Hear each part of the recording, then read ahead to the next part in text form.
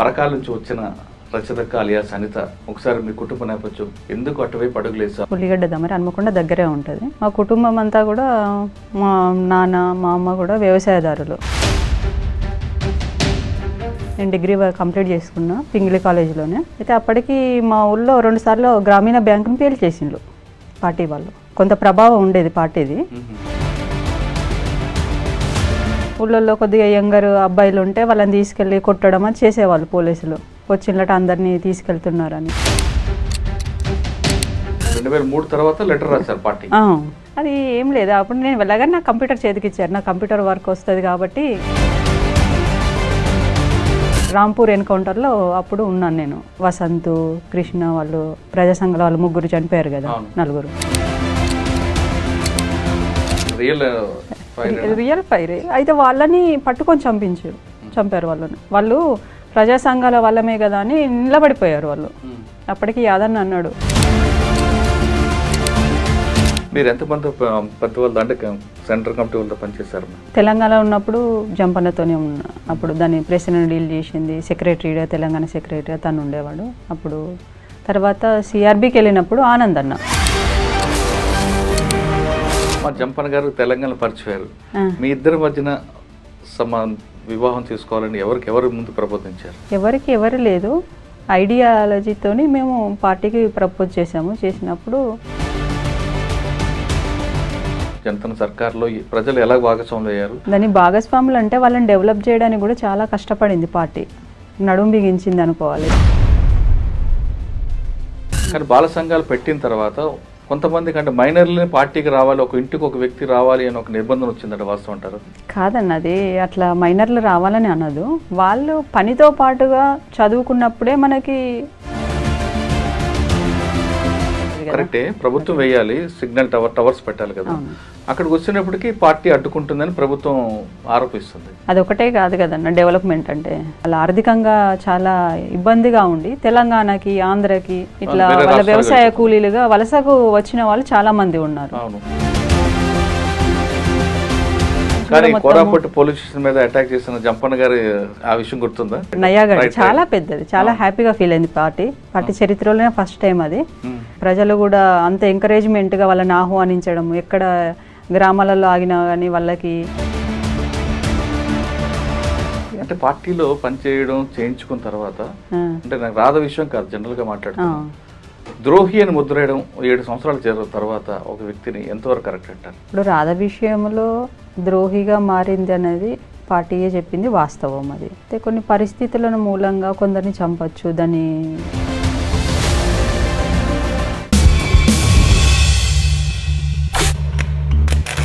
Welcome to crime confessions గతంలో గ్రామాల్లో ఉన్న పరిస్థితి ప్రభావంతోనూ లేదా భావజాలానికి కొంతమంది అట్రాక్ట్ అయ్యో లేదా ఆ గ్రామంలో జరుగుతున్న దోపిడీదారులు అరికట్టాలను కొంతమంది యువతి యువకులు పార్టీ వైపు వెళ్ళారు.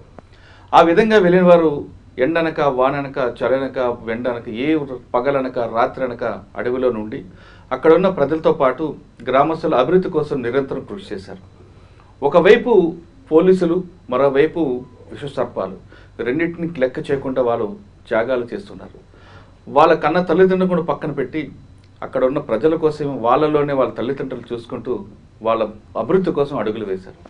ఆ విధంగా కొన్ని సంవత్సరాల పాటు ఉన్న వాళ్ళు తర్వాత అక్కడ సిద్ధాంతాలు నచ్చుకో లేదా అనారోగ్య సమస్యలతోనో లేదా మరో ఈత కారణంతోనో జనజీవన స్రవంతిలోకి వచ్చారు. అటువంటి వారిని పరిచయించే కార్యక్రమాలు ఈ వారం మన గెస్ట్ దాదాపు పన్నెండు సంవత్సరాలు అడుగుబాటు పట్టిన రజతక్క అలియా సనిత కేంద్ర కమిటీ సభ్యుడు మాజీ సభ్యుడు జంపన్న గారి సహచరి అక్క పన్నెండు సంవత్సరాలు అడవిలో ఉన్నప్పుడు అసలు అడవిలోకి ఎందుకు వెళ్ళారు? ఎందుకు బయటకు వచ్చారు? అడవిలో ఉన్నప్పుడు ఆవిడ చేసిన కార్యక్రమాలు ఏంటి ప్రజలకి ఆమె చేసిన సహా సహాయం ఏంటి? పార్టీ ద్వారా ఆ ప్రజలకు ఎలాంటి రాజకీయ చేతును కల్పించారు విషయాన్ని అక్కడ తెలుసు అక్క నమస్తే. నమస్తే అండి. అనిత అలియాస్ రజిత. ఎప్పటి నుంచో మెంటరీ అనుకుంటున్నాం జంపన్న గారు సత్యన గారు. జంపన్న అని చేశాను కానీ మీకు చేయలేకపోయానని ఒక చిన్న లోటు ఉండేది. ఆ లోటు ఈరోజు మీతో తీరిపోతుంది. అక్క ఇంటర్వ్యూ చేసే ముందు మరొక మాట మీ అందరికి చెప్పాలి. ఇది పార్టీ వైపు వెళ్ళాలని కానీ లేదా పార్టీకి వెళ్తున్న వారిని అడ్డుకోవాలని కానీ కాదు.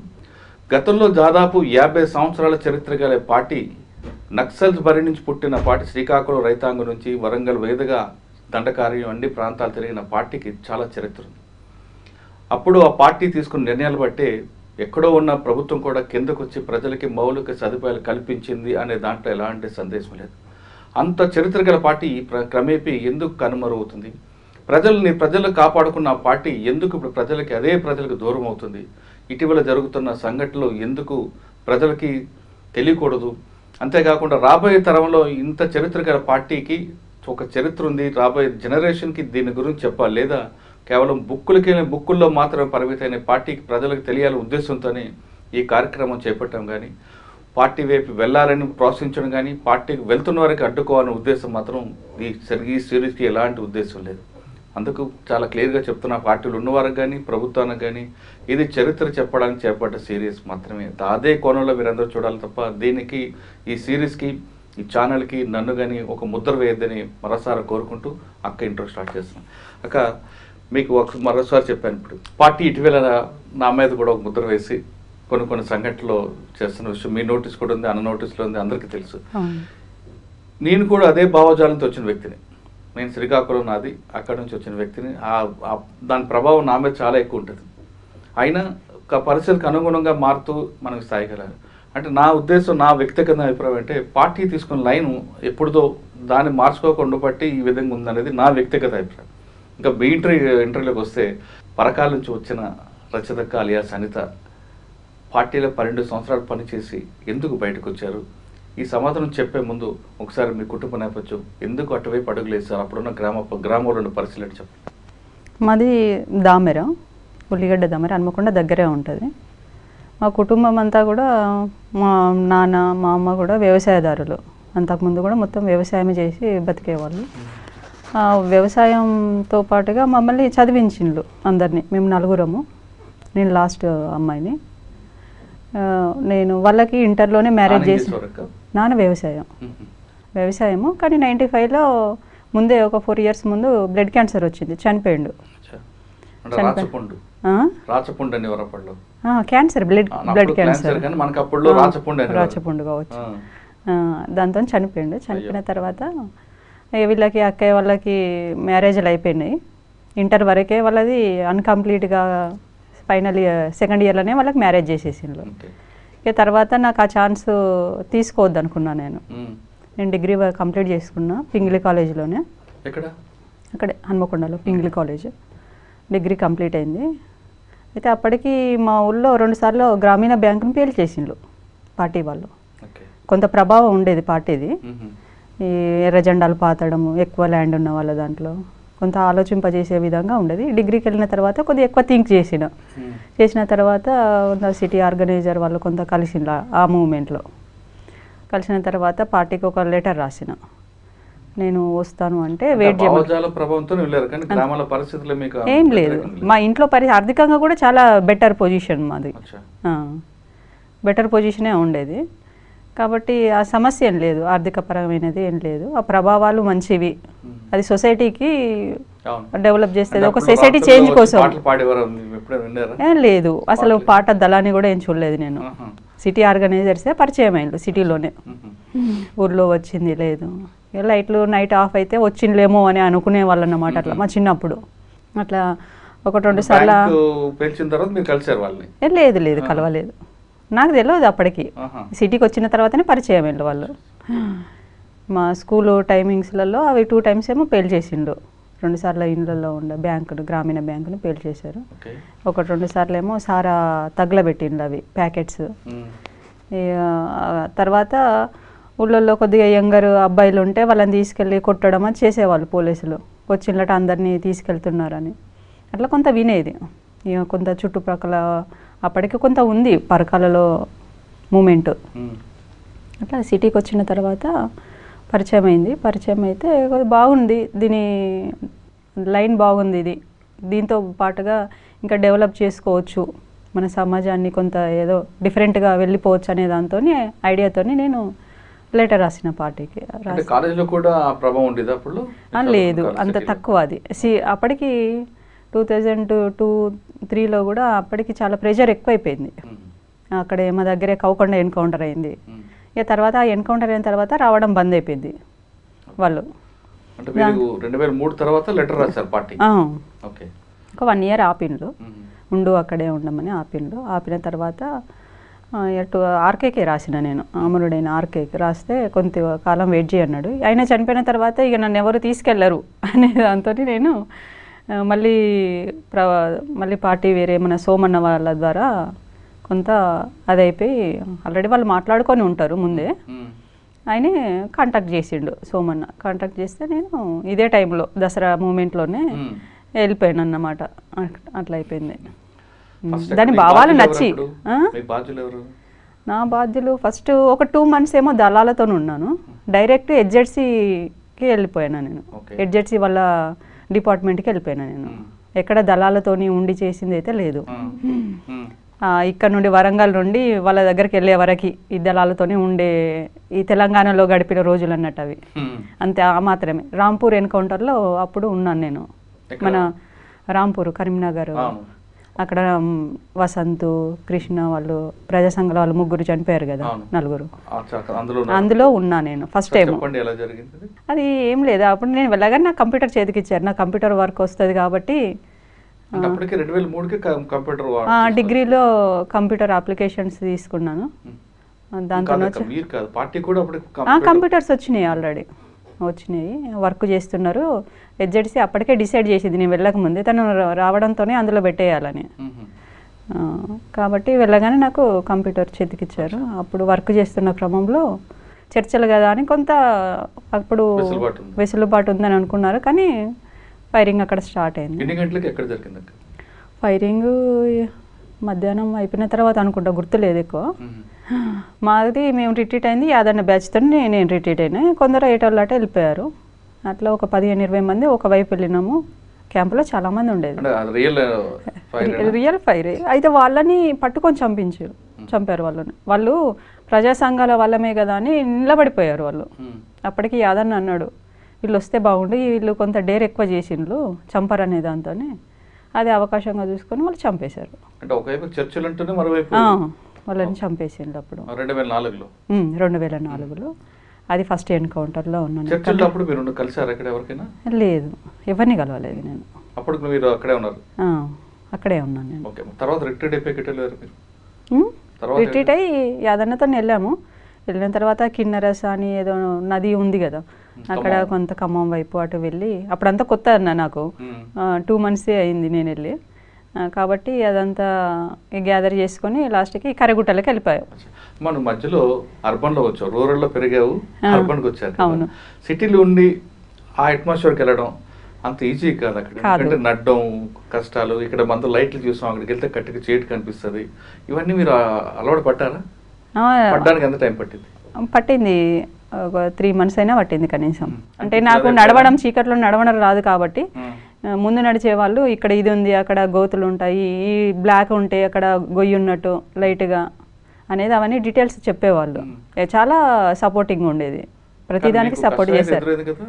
కష్టం కష్టం ఉంటుందని తెలిసే వెళ్ళినాన్న. నేను. చీకటి అవి. చీకటి చుక్కల చీకటి ఉంటుంది. ఆకాశంలో ఉండే చీకటి అంత ఉండదు. దాని షైన్ ఉంటుంది వెలుతురు ఉంటుంది తప్పకుండా. కానీ మీరు అర్బన్లో ఉన్నారు. ఇక్కడ చదువుకున్నారు. ఈ కల్చర్కి అలవాటు పడ్డారు సిటీలో. ఈ కల్చర్ నుంచి మరి బయటపడడానికి టైం పట్టింది అక్కడ? నేను బాగా అలవర్చుకోలేదండి ఈ కల్చర్ని ఆహా. నార్మల్గా సింపుల్గా అంతే ఆహా. ఉండేదాన్ని. నేను అటువైపు సింపుల్గా ఉండడానికి ఎక్కువ ప్రయత్నించేదాన్ని. అది ఈజీగా అట్రాక్ట్ అయిపోయింది అంతే. ఇబ్బంది ఉండేది. అప్పటికప్పుడు ఫోన్లు వస్తున్నాయి. ఆ, అప్పుడప్పుడే స్టార్ట్ అవుతున్నాయి. అట్లాంటివి ఏం లేవు. ఇక్కడికి వచ్చారంటే అంటే సినిమాలు అన్ని అలవాటు పడతారు కానీ అవన్నీ మీరు దూరంగా ఉన్నారు చేతి వేలు కూడా సరిపోవన్న సినిమాలు చూసి. తక్కువ చూసేది చాలా. ఎక్కువ అట్లా భోజనం అది ఎలా అలవాటు అయిందమ్మా అక్కడ అలవాటైంది దానికి మీ భుజాన. బ్యాగ్ ఉంటుంది దానికి పాతి కేజీలు బరువు ఉంటుంది. చేతిలో వెపన్ ఈ పంట పట్టుకొని అలవాటు పడ్డారు పడ్డాను కిలోమీటర్ నడ్డానికి ఆయుస్ పడే రోజుల్లో మీరు ఆయాస పడుతూ నేర్చుకున్నాను ఆ. ఆ, ఆయాసపడ్డాను చాలా ఆయాసపడ్డాను అట్ వన్ అవర్కి ఒకసారి ఫైవ్ మినిట్స్ ఆగుతారు కదా. ఆగినప్పుడు నేను గురి కొట్టేదాన్ని. ఆహా. ఆ, కాసేపు ఫైవ్ మినిట్స్లో కూడా గురి కొట్టేదాన్ని. ఆ. అంత అలసిపోయేదాన్ని అన్నమాట.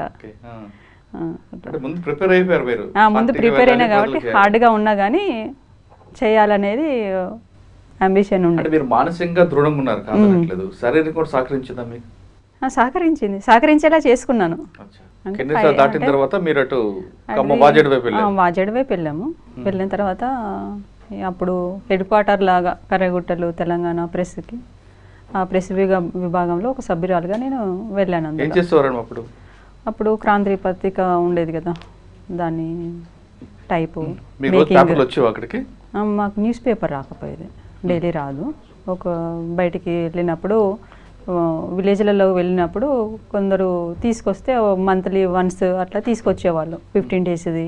వాళ్ళు కలెక్ట్ చేసి పెట్టేవాళ్ళు అవి తీసుకొచ్చి ఇచ్చేవాళ్ళు. అప్పుడు చదివేది. News paper. డైలీ పేపరు రెగ్యులర్గా రాదు. డైలీ పేపర్ రాదు. వచ్చిన తర్వాత మీరు చదివి ఇస్తారా లేదంటే ముందు డైరెక్ట్గా నాయకత్వానికి పంపిస్తారా? వాళ్ళు ముందు చూస్తారు. వాళ్ళు ముందు చూసిన తర్వాత పేపర్లో పార్టీ గురించి వ్యతిరేక పార్టీకి వ్యతిరేక వార్తలు కానీ పార్టీకి సంబంధించిన వార్తలు వచ్చాయి అనుకుంటే దానికి ఖండన ఇవ్వాలి కదా. అది ఎవరు చూస్తారు? దాన్ని లీడ్ చేసే వాళ్ళే చూస్తారు. అక్కడ ఉన్న నాయకత్వం చూస్తారు దాన్ని. బాధ్యులు ఎవరు ఉంటారో. వాళ్ళు చూస్తారు అంతే. మరి ఖండన ఎవరి ద్వారా పంపించేవారు అప్పుడు? అది వాళ్ళకే తెలిసి ఉండాలి. మాకు తెలియదు. ఎంతకాలం ఉన్నారమ్మ వాజేడ్లో టూ ఇయర్స్ ఉన్నాను అక్కడ. అక్కడ మీ తెలంగాణ ప్రెస్లో. మీకు మీరు పనిచేస్తున్న రెండు సంవత్సరాల్లో మీకు గుర్తుండిపోయిన సంఘటన చెప్పండి. మంచిది. ప్రజల కోసం చేసింది. నేను ఎక్కడ ప్రజల్లోకి వెళ్ళలేదు. నా మైనస్ మీ సహకారం ఉంటుంది కదా? మీ సహకారం ఉంటుంది కదా. ఉంటుంది. మాకేంటిదంటే మేము ఎక్కడికి వెళ్ళకపోయేది. ప్రెస్లో పనిచేసే వాళ్ళు ఎవరి వాళ్ళ ప్రెస్కి సంబంధించిన ప్రొటెక్షన్ వాళ్ళు ప్లటూన్ ఉండేది. ఆ ప్లటూన్ వాళ్ళు దానికి కావాల్సినవన్నీ సేకరించి పెట్టేవాళ్ళు. క్లోజ్ చేసుకున్నప్పుడు కొంతకాలం క్లోజ్ చేసుకునేది కొంతకాలం ఓపెన్ పెట్టుకునేది. ఆ క్లోజ్ చేసుకున్నప్పుడు మాత్రమే విలేజ్లలో తిరిగేది. అక్కడ పైన గుట్ట పైన ఉండే విలేజ్లలో అక్కడక్కడ తిరిగేది. ఓకే. అంతే. కానీ ఆ టైంలో పార్టీ ప్రజల కోసం చేసింది చెప్పండి. మీకోసం కదా మీరు చేయకపోయినా పార్టీ చేస్తుంటుంది కదా? పార్టీ మెడికల్ విషయంలో కొంత వాళ్ళని ఎడ్యుకేట్ చేయడానికి పరిస్థితులు అర్థం చేసుకోవడానికి వాళ్ళకి ఎడ్యుకేట్ చేసేది. వాళ్ళు అక్కడ ఉన్నది కొంత ట్రైబల్ సంబంధించిన వాళ్ళు ఉండేవాళ్ళు. వాళ్ళకి అన్ని విషయాలు తెలియవు. వాళ్ళకి కావాల్సిన ఫెసిలిటీస్ ఎట్లా డిమాండ్ చేయాలనేది పార్టీ గైడెన్స్ ఇచ్చేది వాళ్ళకి. ఆ గైడెన్స్ ద్వారానే వాళ్ళు అడిగేవాళ్ళు వాళ్ళని. వాళ్ళ ప్రజానాయకులను అక్కడ ఉండే లీడర్స్ని వాళ్ళని అడిగేవాళ్ళు అన్నమాట. అంటే వాళ్ళు వైద్యంకి సంబంధించింది అవగాహన కల్పించి పార్టీ.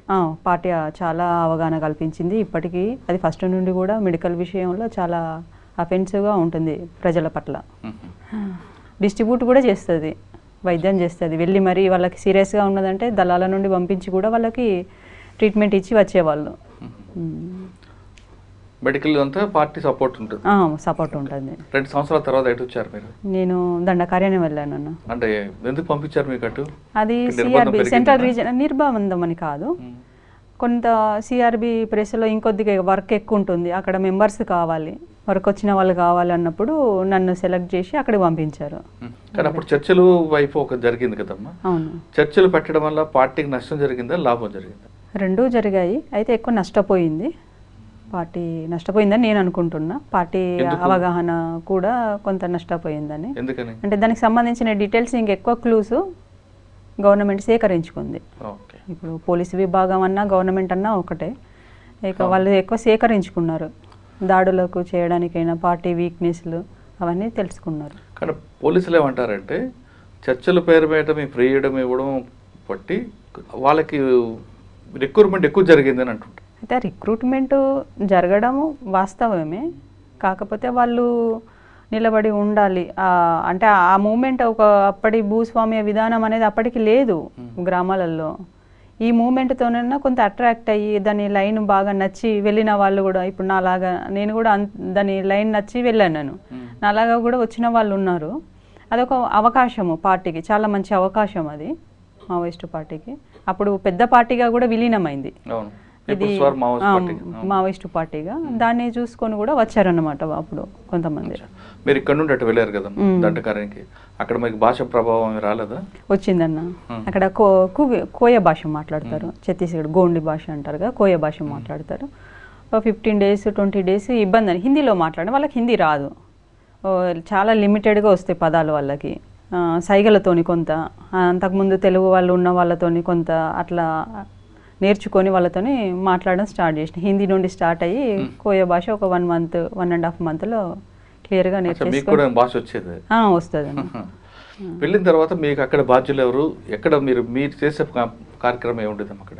మంత్లీ పత్రికలు తీయడం ఒకటి సర్క్యులర్స్.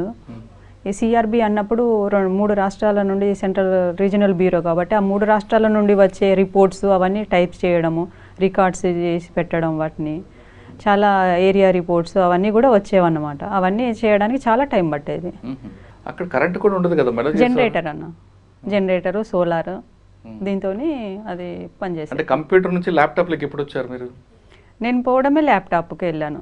కంప్యూటర్లు తెలియదు నాకు. అంతకుముందు నాకంటే ముందు కంప్యూటర్లు అవి ఉండేవంట డెస్క్టాప్ కంప్యూటర్స్. అప్పటికి అవి లేవు.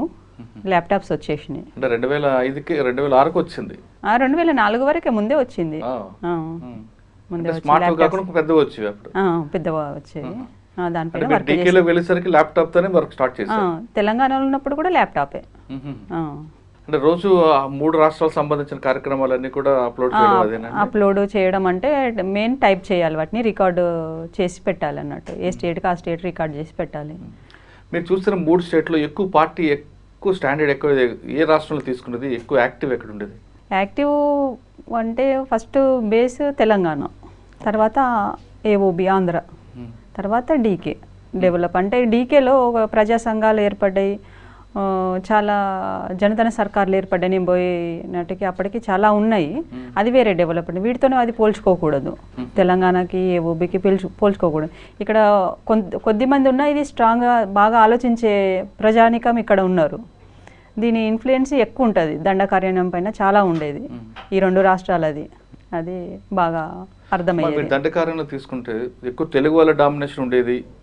స్థానికుల డామినేషన్ ఉండేది కాదు. దానివల్ల ఇద్దరు రెండు వర్గాల మధ్య విభేదాలను వాస్తవం అనేది. లేదన్నది కరెక్ట్ కాదు అది. అంటే కమిటీ అంతా కూడా తెలుగు వాళ్ళతో నిండిపోయింది అనేది. ఫస్ట్ వెళ్ళింది తెలంగాణ నుండైనా ఆంధ్ర నుండైనా. డీకేను కనుగొన్నది ఒక విధంగా కనుగొన్నది అటు పోయి పార్టీని డెవలప్ చేసింది ఇటు నుండి వెళ్ళిన వాళ్ళు. కాబట్టి వాళ్ళు లీడర్షిప్లో ఉన్నారు. ఇప్పుడు ఎడ్యుకేషన్ పరంగా ఆలోచించే విధానంలో కూడా మనకి ఆ లీడర్షిప్కి వెళ్ళడానికి ఉంటుందన్నమాట. ఇప్పుడు దండకార్యాన్యం వాళ్ళు ఏంటి? ట్రైబల్ ట్రైబల్కు సంబంధించిన వాళ్ళు. వాళ్ళ ఆలోచన అక్కడికే పరిమితమై ఉన్నది. తెలంగాణ ఆంధ్ర నుండి వెళ్ళిన వాళ్ళది. ఈ సొసైటీ వేరే సొసైటీ ఆ సొసైటీ వేరు. కాబట్టి ఇందులో నుండి వెళ్ళిన వాళ్ళు కొంత ఎక్కువ నాలెడ్జ్గా ఒక విధంగా ఉంటారు తెలంగాణ నుంచి వచ్చిన వాళ్ళకి మీరు అన్నట్లుగా తెలంగాణ ఆంధ్రప్రదేశ్ అంటే కంబైన్డ్ ఏపీ నుంచి వచ్చిన వాళ్ళకి వాళ్ళ ఐడియాలజీ వేరేగా ఉంటుంది. దానికి ఎవరు కాదని లేరు.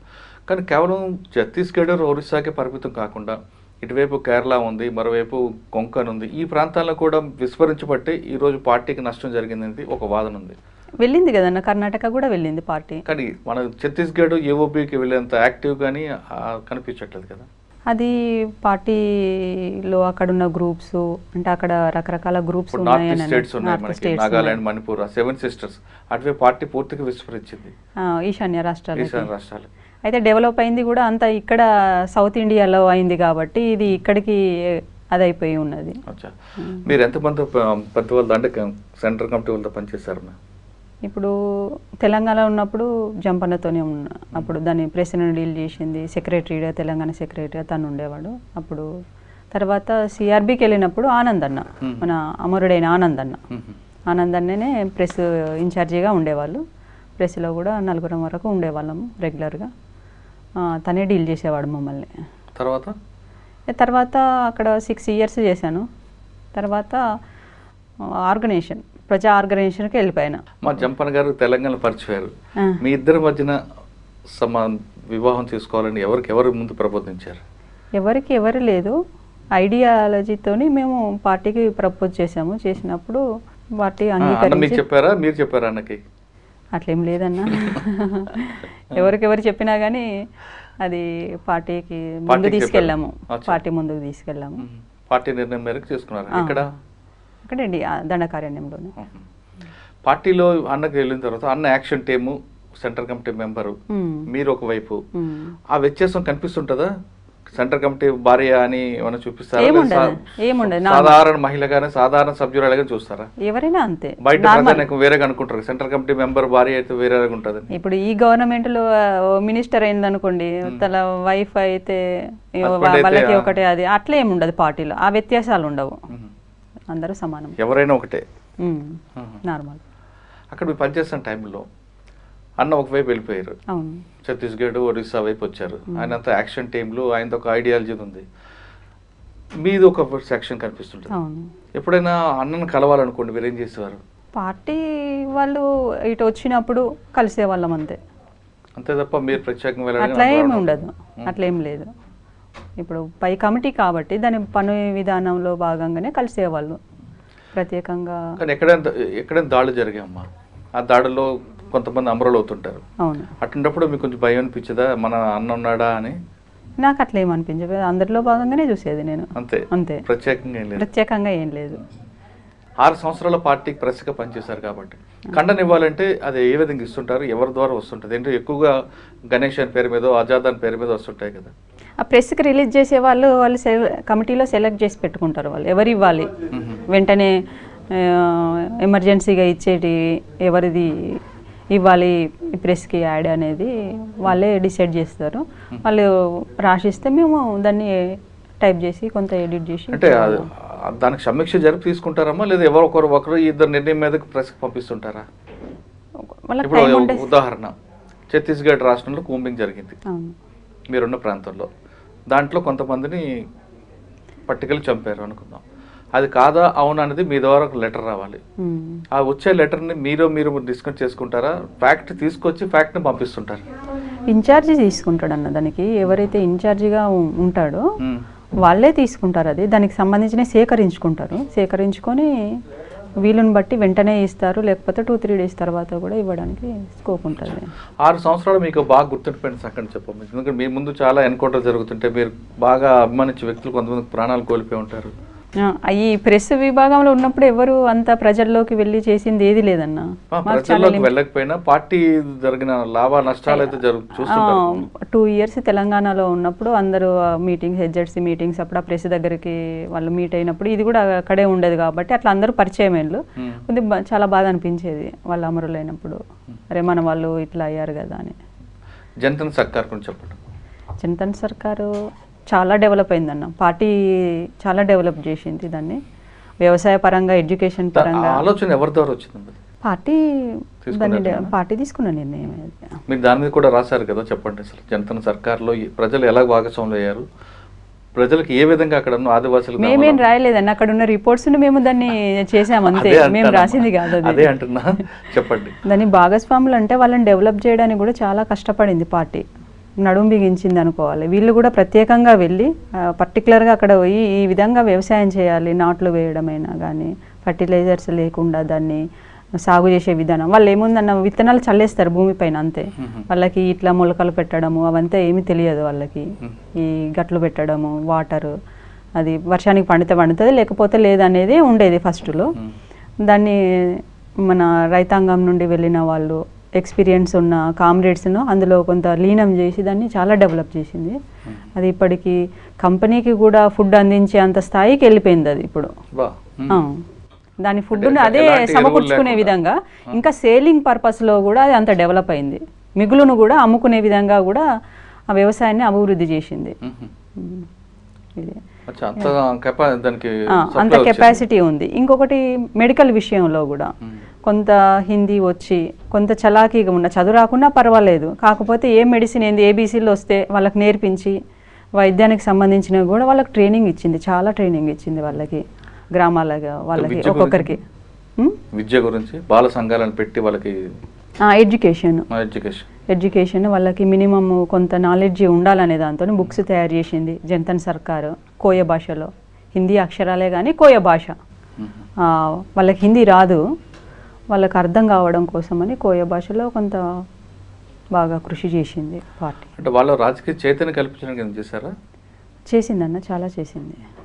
కానీ ఇవన్నీ చేస్తూనే బాల సంఘాలని మహిళా సంఘాలని పెట్టుకుని వచ్చారు. మంచిదే.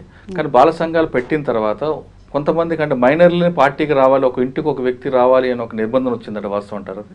కాదన్నది అట్లా మైనర్లు రావాలని అనదు. వాళ్ళు పనితో పాటుగా చదువుకున్నప్పుడే మనకి ఒక డెవలప్మెంట్ మైండ్ డెవలప్మెంట్ అనేది వస్తుంది.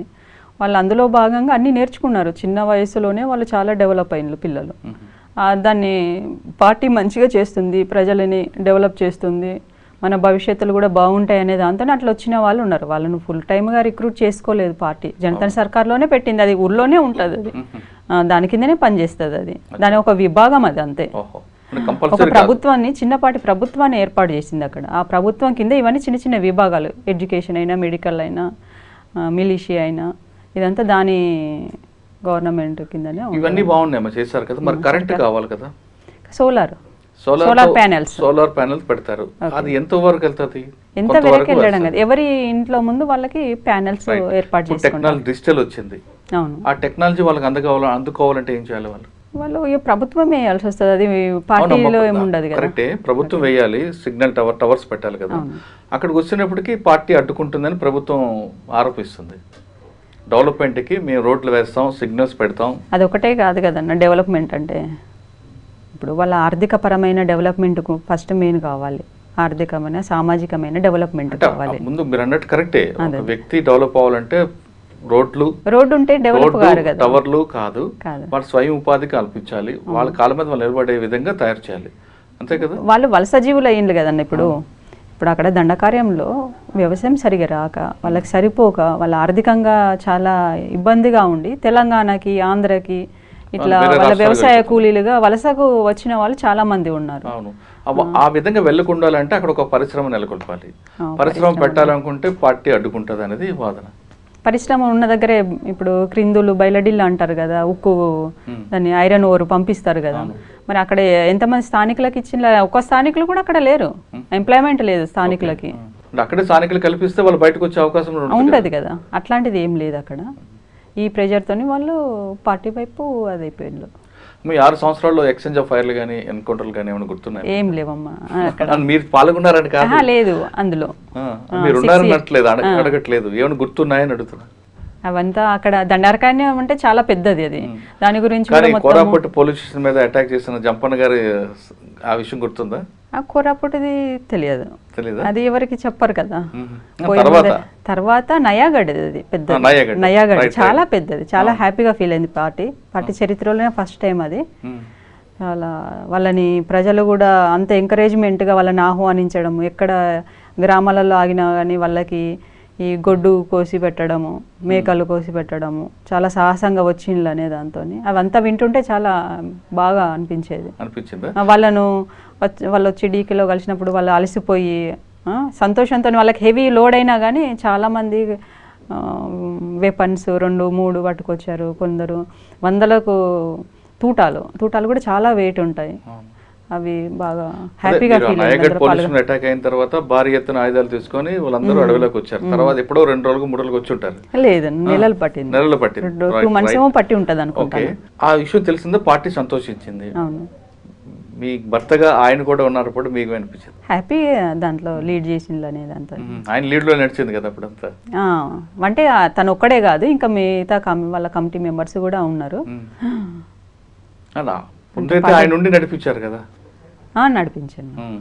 అప్పుడు మీకు చాలా ప్రౌడ్ అనిపించిందా?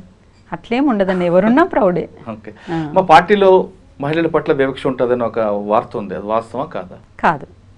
అబద్ధం అదంతా. చాలా కల్పితాలు అవన్నీ. ఈక్వల్గా చూస్తారు దానికి మహిళల పట్ల అణిచివేత వల్ల దానికి అదేం లేదు పార్టీలో. అంత న్యూసెన్స్గా చేస్తున్నారు దాన్ని. ఇప్పుడు మీరు మానసికంగా దృఢంగా ఉన్న శారీరకంగా కొంత మహిళలకి కొన్ని వేరే వేరే విషయాల్లో వీక్నెస్ ఉంటుంది. ఆ విషయం గుర్తించి పార్టీ మీ పట్ల ఏమైనా ప్రత్యేక శ్రద్ధ చూపిస్తుంది? అంటే మిమ్మల్ని కాదు టోటల్గా మహిళల గురించి అడుగుతున్నాను. చూపిస్తుంది. వాళ్ళకి కావాల్సినవి సమకూరుస్తుంది. వాళ్ళకు శారీరకంగా ఇంకేమన్నా బరువులాగా అనిపిస్తే ఆ బరువులు కూడా ఉంచదు. వాళ్ళ శరీరానికి ఎంతైతే అవసరం ఉంటుందో దాన్ని మాత్రమే వాళ్ళు కేర్ చేసేటట్టుగా ఉంచుతుంది అంతే. పార్టీ మాట్లాడుతుంది అది. చాలా కేర్ తీసుకుంటుంది మహిళల పట్ల. ఇప్పుడు అంతర్జాతీయ మహిళా దినోత్సవాలు ఉమ్. పార్టీ అప్పుడు మీ అందరికీ నిర్వహిస్తుందా అవన్నీ ఏమిస్తుంది? అంతర్జాతీయ మహిళా దినోత్సవం. జరుగుతుంటుంది. అప్పుడు పార్టీ గుర్తించి మీకు ఒక ప్రత్యేక కార్యక్రమం పెడుతుంటుందా? ప్రత్యేక కార్యక్రమం ఉండదు మహిళలకి. అంటే బయట ఏమన్నా మీటింగ్స్ పెట్టడానికి అంటే దానికి మహిళా దినోత్సవానికి ప్రోగ్రామ్ చేయడానికి ఒక కార్యక్రమం ఇస్తుంది. దాన్ని బట్టి మేము అది చేస్తాము. నిరంతరం పార్టీ ప్రజలు ఇవే మీకు అంత రోజు పొద్దున్న లేచింది రాత్రి వరకు అవే ఉంటాయి. ఒకవైపు పోలీసులు వస్తారా మరోవైపు పాములు ఉంటాయా లేదా ఇంకోటి జంతువులు వస్తాయని ఆలోచిస్తుంటారు కదా. ఎప్పుడైనా వెసులుబాటుకి మీకు ఒక ప్రత్యేక కార్యక్రమం కానీ వంట కార్యక్రమం కానీ మహిళలందరికీ కూర్చోపెట్టి. వంట వార్పు అని ఇలాంటివి ఏం చేయిస్తుంటుందా అట్లా ఏం లేదన్న డ్యూటీలు వేస్తుంది. రోజుకు సంఖ్యను బట్టి. రోజు డ్యూటీ డ్యూటీ డ్యూటీ కాకుండా కొంచెం వెసులుబాటు ఉండాలి కదా. జెంట్స్ చేస్తారు లేడీస్ చేస్తారు? వంటలు. ఓన్లీ లేడీస్కే పరిమితం కాదు ఇక్కడ ఉన్నట్టుగా. ఒకరికి వాళ్ళకి ఒకరి వీళ్ళకి ఉన్న సభ్యుల్లో రొటేషన్ అవుతుంది సర్కిల్గా. కానీ మీలో మీరు మహిళ కాబట్టి మీకు ప్రతి మహిళకి లోపల ఒకటి ఉంటుంది. మనకి ఏంటి ఏదో వంట చేయాలని లేదా ముగ్గు వేయాలని ఇంకోటి ఇంకోటి సరదాలు ఉంటాయి. అవన్నీ అలవాట్లు ఇక్కడే అలవాట్లు అన్నవి. అది పార్టీలో భావజాలము పరంగా అట్లాంటి ఆలోచన కూడా రాదు. చీరలు కట్టుకోవాలని ఇవన్నీ ఏముండవు అట్లాంటి అలవాట్లు ఏముండవు. చాలా మారిపోతారు. ఓకే. అంటే అక్కడ అనుగుణంగా తయారైపోతారు. బొట్టు పెట్టుకోవాలని అవన్నీ ఏ ఉండవు. ఏముండవు. కానీ ఇప్పుడు బడాకానా అని ఉంటాయమ్మా? ఎప్పుడైనా మంచి కార్యక్రమం జరిగింది అనుకోండి. ఒక మటన్ కోడో ఒక మేకను కోసుకొని తింటారు. అప్పుడు ఏం చేస్తుంటారు? ఏం చేస్తుంటామో తింటాం అంతే. తినడం. మీరు వండుతుంటారా? వాళ్ళు వండుతారా? ఆటపాట అట్లా ఏముండదు అంటే మనకి మనం ఇన్నర్ మీటింగ్లు పెట్టుకున్నప్పుడు పాటలు పాడడము నా నా డ్యాన్స్ చేయడం అట్లాంటిది. ఈ ఒత్తిడి ఎలాగమ్మా మీరు తగ్గించుకోవాలి? ప్రతి మనిషికి ఒక ఒక స్థాయి వరకు ఒత్తిడి ఉంటుంది. ఆ ఒత్తిడి దిగి దిగించడం దిగడానికి పాటలు పాడతారు కొంతమంది కొంతమంది డ్యాన్స్ వేస్తుంటారు. అటువంటి ఒత్తిడి తగ్గించుకోవడానికి మీకు ఏమైనా కార్యక్రమం ఉండేదా? ఏముండకపోయేదని అట్లాంటి ఒత్తిడి అంత ఏమున్నది? దాన్ని ఒత్తిడి తగ్గించుకోవడం ప్రజల్లోకి వెళ్ళడమే. అంతే రిలీఫ్ చాలా రిలీఫ్ అవుతుంది అన్న వాళ్ళతో? మాట్లాడుతుంటే వాళ్ళని కలిసినప్పుడు వాళ్ళ సమస్యలు విన్నప్పుడు లేకపోతే వాళ్ళ వైపుగా మోల్డ్ అమ్మా, మీరు. ఎప్పుడైనా ఒత్తిడి తగ్గించుకుని ప్రజలకు వెళ్ళారనుకోండి. వాళ్ళు రిసీవ్ చేసుకునే విధానం చూసి మీకు అనిపించింది. చాలా హ్యాపీగా ఫీల్ అయ్యింది. దానికి అంటే వాళ్ళు మనల్ని ఓన్ చేసుకుని వాళ్ళ కష్టాలు చెప్తున్నప్పుడు అదే హ్యాపీనెస్ అవును. కానీ ఎప్పుడైనా అమ్మ నాన్న వాళ్ళు ఎవరు గుర్తురారా? ఏం లేదండి అందులో. ఆల్రెడీ ఊళ్ళల్లోనే తిరుగుతున్నాం కాబట్టి అన్నిటికి సిద్ధపడే పోయినాం కదా. సిద్ధపడిపోయినప్పుడు అవన్నీ మళ్ళీ రిమైండ్కి రావు అవి కానీ మీరు లోపలికి వెళ్ళిన తర్వాత మీ కుటుంబం మీద ఒత్తిడి పెరుగుంటుంది కదా పోలీసులు నిర్బంధం అప్పటికి ఏం లేదన్న నిర్బంధము పోలీసులు ఒకప్పుడు ఇల్లు కూల్చోవడము లేకపోతే అంత హరాస్మెంట్ చేయడము అదంతా తగ్గిపోయింది కదా చాలా తగ్గిపోయింది. సాఫ్ట్గా డీల్ చేయడం మొదలెట్టిండ్రు. సాఫ్ట్గా అంటే?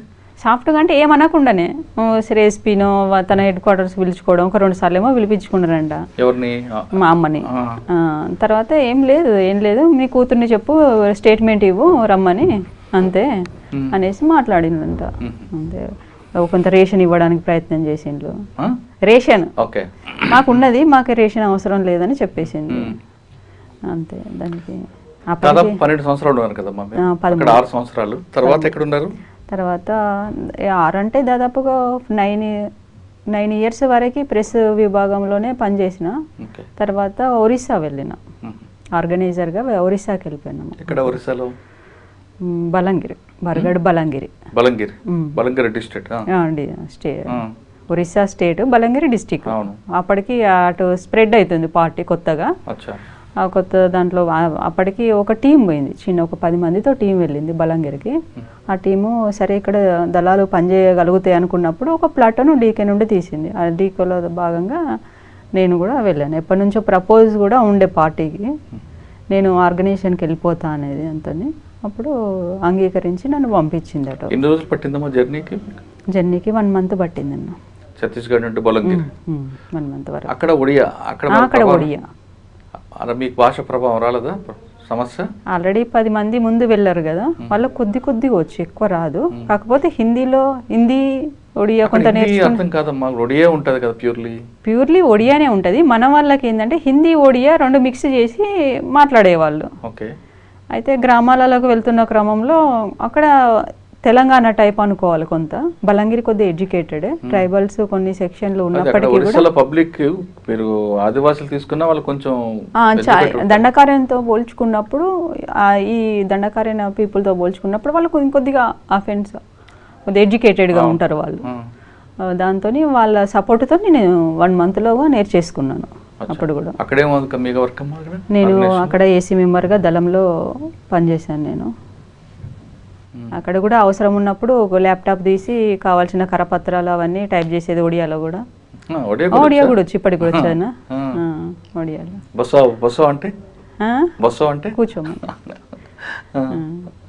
ఇప్పుడు ఎవరైనా షాప్కి వెళ్ళినప్పుడు ఎవరైనా ఉంటే మాట్లాడతా వాళ్ళతో ఒడియాలో మాట్లాడతాను. ఉమ్.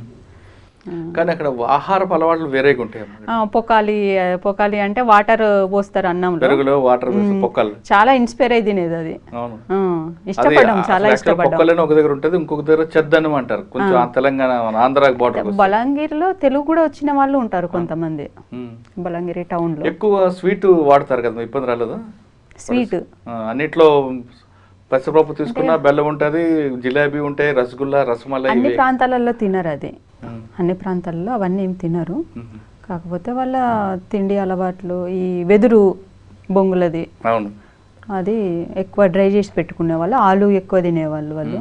పప్పులు ఆలు బాగా అక్కడ పార్టీని ప్రజలు స్వాగతం పలికారు ఓన్ చేసుకున్నారు అక్కడ సమస్య ఉంది అప్పుడు?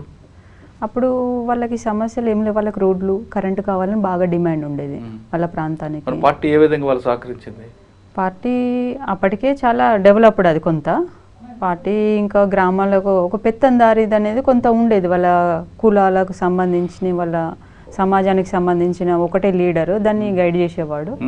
వాళ్ళు కొంత ఇబ్బంది పడేవాళ్ళు వాళ్ళ మూలంగా. కొంత అప్పుడు కొన్ని సాల్వ్ చేసింది అప్పుడు పార్టీ. అవునా? ఎంతకాలం చేశారమ్మా అక్కడ? అక్కడ ఒక టూ ఇయర్స్ చేశాను. అక్కడ గుర్తుండిపోయిన సంఘటన ఉందా? ఏముందన్నా గంధ అక్కడ గంధమర్దన్ చుట్టూ ఉన్న గ్రామాలు బాగా గుర్తుండిపోయినాయి. గంధమర్దన్ ఒక పెద్ద పర్వతం ఉంటుంది. అది ఎక్కాలంటే ఒక వన్ అవర్ పడుతుంది. స్లోగా స్పీడ్గా ఎక్కే వాళ్ళకి కూడా వన్ అవర్ పడుతుంది. కంపల్సరీ వన్ అవర్ ఎక్కాలి. అది ప్రజలు చెప్పేది ఏంటంటే ఆంజనేయుడు సంజీవిని తీసుకొస్తాడు ఆ పర్వతాన్ని అక్కడ పెట్టిండు అనేది అంటారు. ఔషధ మూలికలు బాగుంటాయి గంధమర్దన్ పర్వ పర్వతంలో. బాక్సైట్ కూడా ఎక్కువ ఉంది అందులో. అది బాక్సైట్ తీయడానికి హెలిప్యాడ్ పైన హెలిప్యాడ్ కోసము క్లీన్ చేసింది. అది పైకి ఎక్కితే ఎరు అవుపడుతుంది దాన్ని వ్యతిరేకించారు గంధమర్దన్ కమిటీ అని పెట్టేసుకొని ఆ బాక్సైట్ని వ్యతిరేకిస్తే దాన్ని వెళ్ళిపోయింది అప్పటికి. అంటే మీరు అది ఎక్కి దిగడం అనేది కొంచెం ఇబ్బంది అయింది. టెరెన్ హార్డ్గానే ఉంటుంది అది. అక్కడ ఉండేది అది ఒకటే పెద్ద పర్వతం అది. చాలా విశాలమైన అక్కడ ఎదుర్కొన్న సమస్య ఉందా మీకు? ఏం లేదన్నా. పర్వతం ఎక్కి దిగడం ఒకటే. ఆయాసపడుతూ అయినా పైకి ఎక్కితే మేఘాలు కిందికి. ఆ, మొత్తం టాప్ ఎక్కితే పైకి పూర్తిగా. మేఘాలు కిందికి ఓపడతాయి అంత హ్యాపీనెస్ వచ్చేస్తుంది చూడగానే. అక్కడ ఎంతకాలం చేశారమ్మా? టూ ఇయర్స్ తర్వాత? తర్వాత కలహండికి అక్కడ ఉన్న ఒక టీము కలహండి తనతోని జంపన్నతోని సర్వే కోసం వెళ్ళినాము. అది వెళ్ళినప్పుడు కలహండి వైపు వెళ్ళినాం. కలహండి బర్గడ్. బర్గడ్ అంటున్నా. కలహండి కందమాలు. కలహండి కందమాలు మహాసముద్ర వైపు కొంత సర్వేకి వెళ్ళినప్పుడు అది బాగుందనే దాంతో ఎక్స్టెన్షన్గా భాగంగా అక్కడున్న బలంగిరిలో ఉన్న ఒక టీముని మళ్ళీ అటు కొంత అటు వెళ్ళిపోయినాం అన్నమాట. ఇక అక్కడే డీవీసీ మెంబర్గా ప్రమోట్ చేసిన కలహండి ఆ కలహండి కందమాలు అక్కడ ఒక త్రీ ఇయర్స్ వరకు ఉన్నాం అక్కడ. త్రీ ఇయర్స్ వరకు. తర్వాత డీకోకి వచ్చేసినాం. డీకే. ఓకే. ఇక టూ థౌజండ్ సెవెంటీన్లో మేము బయటకు వచ్చేసి ఎందుకమ్మా పదహారు సంవత్సరాలు పర- ప్రయాణం చేసి నువ్వు. ఒకసారి? పదమూడు. పదమూడు. ఎందుకు మరి వెనక్కి రావాల్సి వచ్చింది? పార్టీలో కొంత సిద్ధాంతానికి సంబంధించిన విషయాలు ఇద్దరిలో డిస్కషన్ అయ్యి వచ్చేసినాం అంటే మీరు వస్తాను విషయం పార్టీకి చెప్పారా సెంట్రల్ కమిటీకి? ఆ, చెప్పినాం. ఏమన్నారు? బలవంతంగా ఎవరైతే ఉంచరు కదన్న దాని లైన్ సంబంధించింది కొంత ఉంది కాబట్టి. యాక్సెప్ట్ చేసిండ్రు వాళ్ళే పంపించారు కదా. సరే మనం ఒకసారి పార్టీలో ఉన్న విషయం మాట్లాడదాం. ఇటీవల పార్టీ తీసుకున్న కోవట్ అనే పేరు మీద రాధా హత్య. మాట్లాడదాం ఆ విషయం? ఏముందన్న మాట్లాడడానికి ఇంకా మళ్ళీ కొత్తగా? అంటే పార్టీలో పనిచేయడం చేయించుకున్న తర్వాత అంటే నాకు రాధ విషయం కాదు జనరల్గా ఆ, మాట్లాడుతున్నాను ద్రోహి అని ముద్రేయడం ఏడు సంవత్సరాలు చేరిన తర్వాత ఒక వ్యక్తిని ఎంతవరకు కరెక్ట్ అంటారు? ఏడు సంవత్సరాలు పనిచేసినప్పుడు పార్టీ సభ్యుడు. ఎక్కడో ఆయనకున్న వీక్ పాయింట్లో చిన్న జరిగింది అనుకోండి కాదనట్లేదు నేను. నేను రాధా కాదు ఎవరైనా సరే కోవట్ట మారినంటే వ్యక్తిగత కారణాలతో ఏదో వీక్ పాయింట్లో అవుతారు. ఆ వీక్ పాయింట్ ఫోన్ అలవాటు చేసింది కూడా పార్టీ వాళ్ళకి. ఆ వీక్లో వీక్నెస్లో హ్యూమన్ వీక్నెస్ ఉంటాయి. అమ్మ నాన్నతో మాట్లాడడంలో ఇంకోటి ఇంకోటి ఇంకోటి. అందులో ఆమె మారి ఉండొచ్చు. నేను కాదు అని కూడా సమర్థించట్లేదు. ఆమె చేసే పని వల్ల పార్టీకి నష్టం కూడా జరిగి ఉండొచ్చు. అది కూడా కాదు. కానీ ఏడు సంవత్సరాలు పనిచేసిన తర్వాత ఒక ద్రోహి అని ముద్రడు ఎంతవరకు correct? Number one number two మహిళ అని కూడా చూడకుండా అంటే పార్టీలో మహిళ అయినా మగవారైనా ఎవరైనా ఒకటి వ్యత్యాసం ఉండదు. ఇలా చేయడం నిర్ణయం వల్ల ప్రజల్లో పార్టీకి దూరం అవుతుందా అన్నది నెంబర్ టూ నెంబర్ త్రీ కొంతమంది ద్రోహులు అని అంటారు కొంతమందిని. అంటే పార్టీలో ఇరవై సంవత్సరాలు పనిచేసి బయటకు వచ్చిన ప్రతి వ్యక్తి ద్రోహి అవుతారా? కారు. మీరు చెప్పండి మూడు ప్రశ్నలు సమాధానం చెప్పండి. ఇప్పుడు రాధ విషయంలో ద్రోహిగా మారింది అనేది పార్టీయే చెప్పింది వాస్తవం అది. అయితే కొన్ని పరిస్థితులను మూలంగా కొందరిని చంపచ్చు దాని తీవ్రతను బట్టి కొందరిని చంపుతుంది కొందరిని వదిలేస్తుంది. అయితే ఇప్పుడు తెలంగాణకు సంబంధించిన తెలంగాణ మూమెంట్కి సంబంధించిన వ్యక్తి ప్రభావితం బాగా చాలామంది కోట్ల మంది ప్రజలలో రెండు తెలుగు రాష్ట్రాలలో కూడా ఎఫెక్ట్ పడే వ్యక్తి కాబట్టి కొంత ఆలోచించి పార్టీ ఆలోచించి వదిలేయాల్సింది ఉండే అనేది కొంత అభిప్రాయం నా అభిప్రాయంగా ఉండింది. అయితే అందరినీ పోలీసులను కూడా వదిలేసింది ఉంది. కొంత అరెస్ట్ చేసి తీసుకొచ్చి. అవి చేసింది క్షమించి. వదిలిపెట్టింది రాత పట్ల తీసుకునే తప్పుపడతారా? సమర్థిస్తారా? సమర్థించడం అంటే దాని తీవ్రత ఎక్కువ ఉన్నది అనుకున్నప్పుడు సమర్థించాలి కొన్నిటికి.